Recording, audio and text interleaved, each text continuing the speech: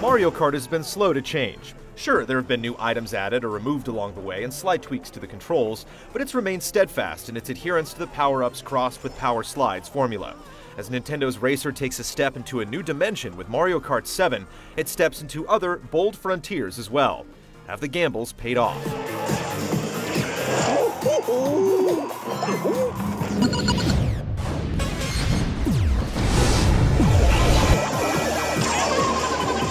There's no story or narrative to bog down Mario Kart 7's design. The only barrier between you and the options is a list of menus. As expected, the Grand Prix provides the majority of single player entertainment. With three engine classes across 8 cups and 32 tracks, it may seem like a lot, but most will be able to finish it in a solid day of play.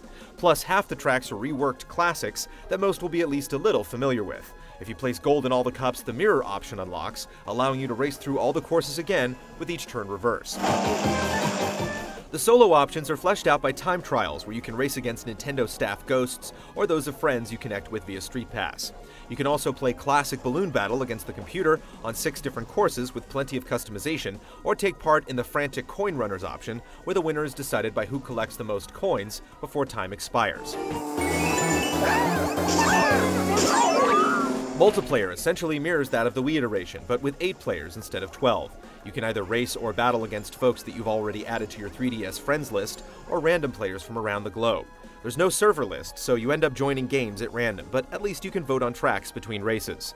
There's even a Mario Kart channel that helps organize everything and lets you create your own Grand Prix to share. You can also race locally, provided your friends have a copy of the game. There are 16 different characters to choose from that become unlocked as you win cups. You can even use your Mii if you like, but all characters have the same abilities. The carts themselves are rated in five different categories that change depending on the chassis and tires you select. These parts are unlocked by collecting in-race coins, with a maximum of 10 per outing. With so many ways to progress, you feel like you're always accomplishing something, regardless of where you end up at the finish line. It's about as robust as these types of games get.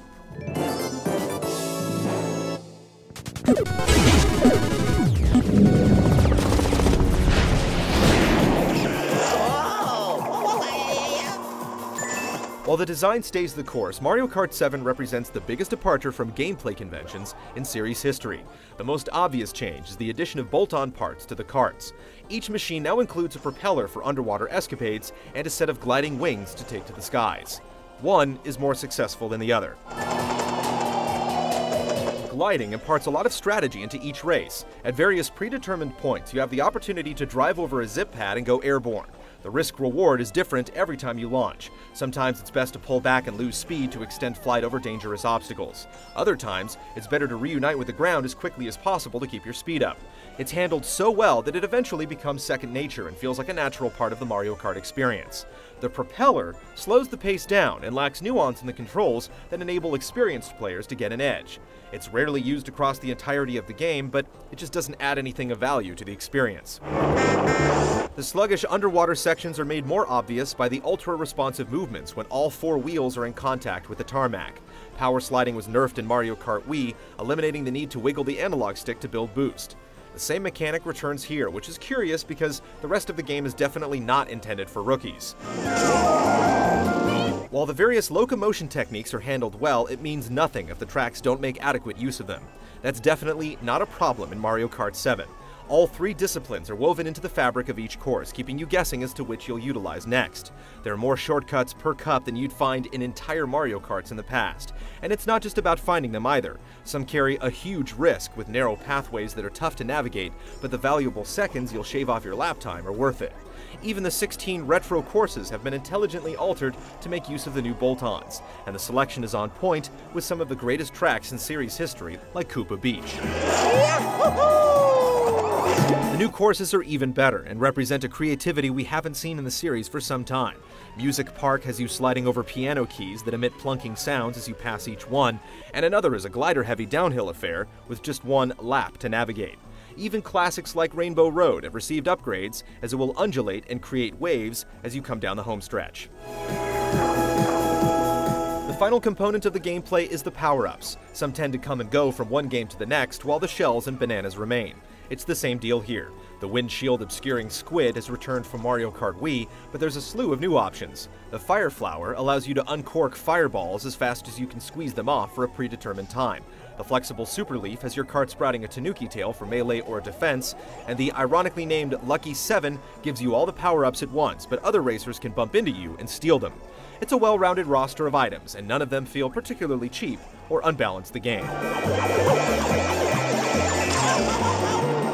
Of course, game balance is always nebulous in Mario Kart thanks to the generous rubber band AI and item distribution. These two elements still rear their ugly heads quite often, and you just have to accept that the best player doesn't always win each race. A well-played lightning bolt can turn things upside down in an instant, and you'll still get nailed by a blue shell 50 yards from the finish line, only to watch the entire field pass you. It's a delicate balance between being fair and keeping things unpredictable, and once again the series walks on the right side of the line. It can be more frustrating in multiplayer where the general skill level is higher, but at least latency is practically non-existent.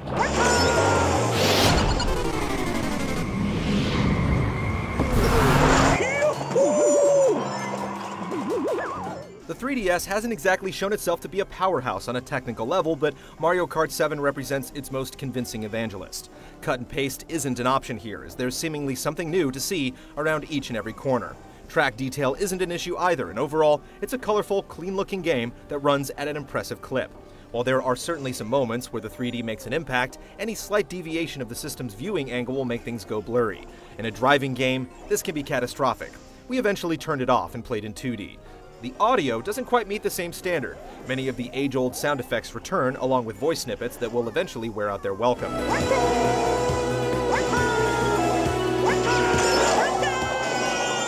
Music fails to be memorable despite a beefy selection of happy-go-lucky tunes.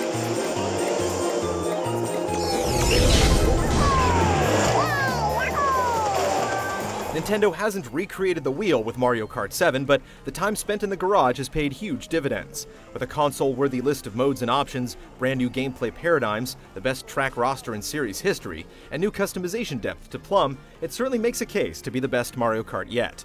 It doesn't turn kart racing on its end, but it finds a near perfect medium of similarity and discovery as it walks the fine line of risk and reward without spinning out.